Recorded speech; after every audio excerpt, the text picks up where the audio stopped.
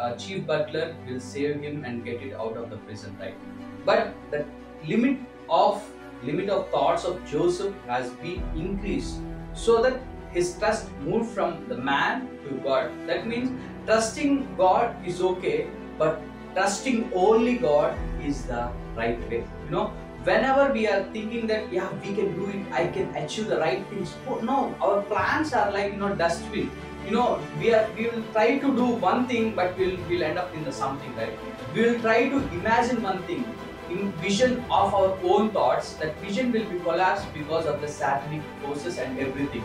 But the vision that given by God will lead you, guide you, and so that you will be the blessing to the generation. That means the vision that given by God, by the word of God, if the vision of the thing that which gave by God will prosper at any cost. No matter where you are going, the destiny where you trust only God will always change. Because you know that the base that He will make for you, no, no one can even imagine. Who think that Red Sea will be parted and they will walk on dry land? Never. You know, our thoughts cannot be think and it's not imagine. You know, we cannot even imagine how God will make things. You know, the same chief butler who think that uh, you know he just forget and he was in his own works everything. But remember joseph did the right thing trusting only god.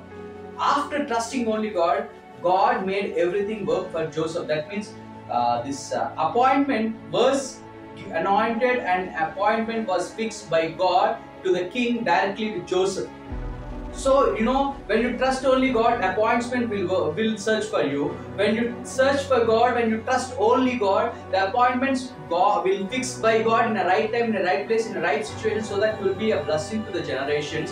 When you trust only God, you know your thoughts will be changing from one level of glory to another level of glory. That means you transform from one level of glory to another level of glory. When you transform, your life will be a blessing to the generation. It will be it will be like you know after trusting only God, your life will be a thin line. That means after Christ, before like you know, this is the thing that means when you have a Christ, you know, everything will be changed. And you will see, a, you know, expansion of the boundaries, and you will see the right things in a right place, in a right situation, so that you know, even you cannot have the thoughts that hey, what I have to do. You, if you have this intention, just remember, trust only God. After the changing the limitations of Joseph, that means trusting trusting God is okay, but trusting only God is the right way. When you trust only God, you know, the appointments will fix for you. That means God will fix the appointments for you.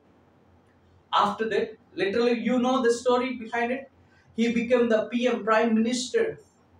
No matter what you are going through, I don't know, but remember, when you trust only God, God will make His face shine upon you so that you will find the favor like an Esther you will find a favor you know no matter where you are going through whenever you are having a stumble block remember there is only one way that is our lord.